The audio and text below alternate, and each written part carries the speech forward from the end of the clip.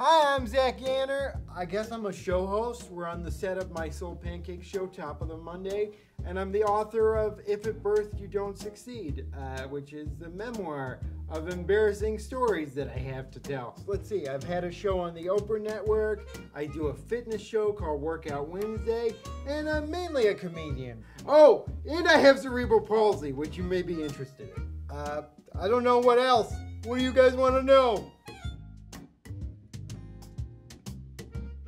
I think people with disabilities are underrepresented on reality TV. I mean, I didn't really see many examples of other disabled people on television when I was on the show on the Oprah Network. And uh, for the most part, I think people are represented for who they are, but there is a tendency to represent everybody with a disability as inherently inspirational, which I sort of talk about in the book.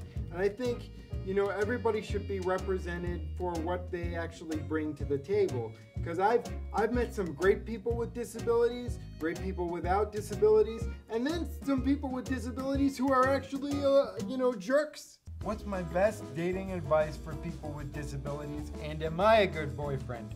Well, I'm not a good boyfriend right now because I'm single. But I, I would say that I was a good boyfriend, but we broke up, so I don't know how true that is.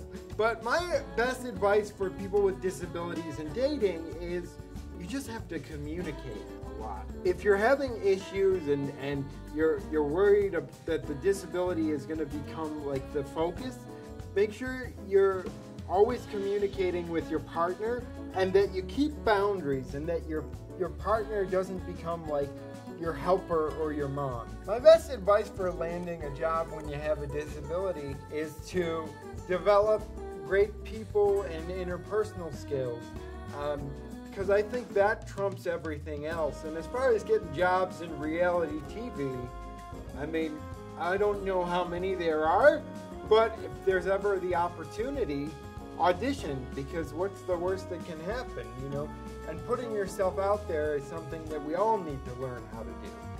When did I realize I was funny? I still haven't realized I'm funny. The best thing about cerebral palsy is that I get free uh, ice cream at Dairy Queen.